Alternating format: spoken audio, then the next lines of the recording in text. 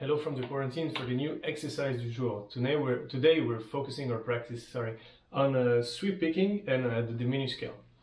Um, so for the, um, this pattern we're going to use four triads which are D flat, G, E, B flat, all major triads that all belong to the diminished scale you would play over G7, B flat 7, B flat 7 or E7.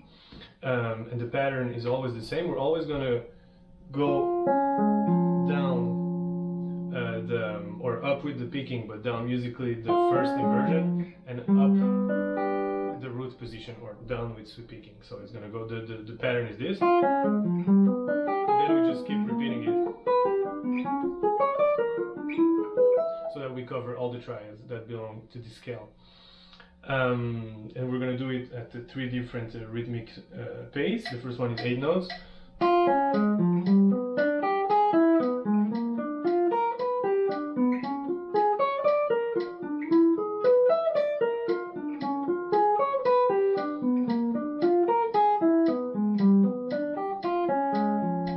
triplets.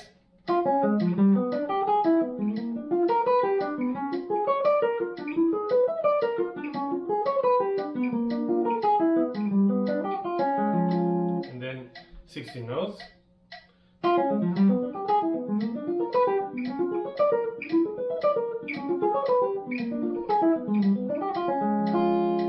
And then uh, the last uh, part of this exercise is to combine, uh, to switch, sorry, to switch rhythmic subdivision when you change direction. So it would give us something like that.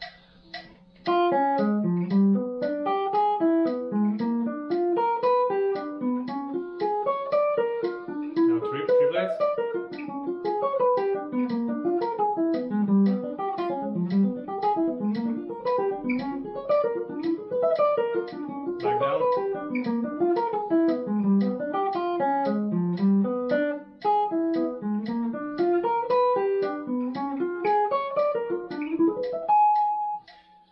etc. And you can decide to change direction and rhythmic subdivision uh, wherever you want. Really, I was just kind of doing it at uh, the beginning and the end of uh, the the pattern that I that I showed you.